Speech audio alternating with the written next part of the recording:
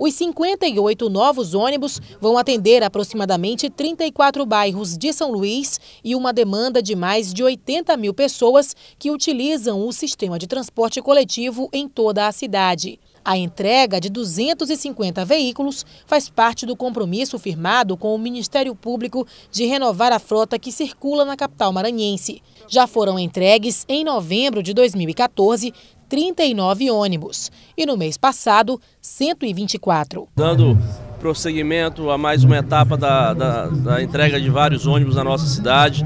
Nós já estamos indo para 221 ônibus, renovando a frota é, da cidade, num, num, num, acordo também com o próprio Ministério Público e avançando muito no setor de transporte. Agora o edital nós estamos lançando agora no começo de, de maio, né?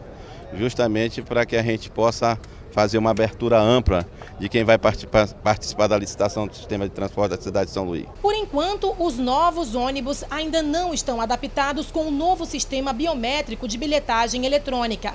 Os equipamentos devem ser instalados em todos os veículos até o final do próximo mês. Os veículos, ele, quando chegam, eles chegam sem a biometria, sem os validadores. É, aí nós então apresentamos à prefeitura, é feita uma vistoria e então é feito então a colocação da biometria. Em seguida ele é encaminhado ao Detran para o emplacamento e para que for, seja rodados é, na cidade. Biometria já está, já está em mais de 350 ônibus implantados. Até final de abril estaremos com 1.100 ônibus todos concluídos para que a gente possa já, já com a implantação do GPS, já trabalhando para a implantação também já do bilhete único, conforme a determinação do prefeito Edivaldo Holanda Júnior.